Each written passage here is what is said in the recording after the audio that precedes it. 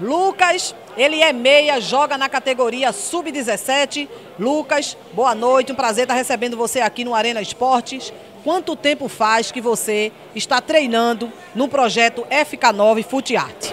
Comecei essa semana, semana que passou, vim do interior para ajudar aqui. Faz uma semana e estou pretendendo ficar aqui para realizar meu sonho, conquistar uma oportunidade para mim, dar a vida melhor para minha família e tudo. Você veio de que cidade? Palmares. Palmares. Interior de Pernambuco. Interior de Pernambuco. Como foi que você descobriu o projeto de Fernando Caranga? Foi sobre o motivo, o marido da minha tia, que conhecia ele, jogando muito com ele, aí jogou. Aí me falou, aí eu vim pra cá, aí gostei, tô aqui no projeto. Projeto muito bom, tá. tô gostando. Boa sorte para você, viu, Lucas? Obrigado.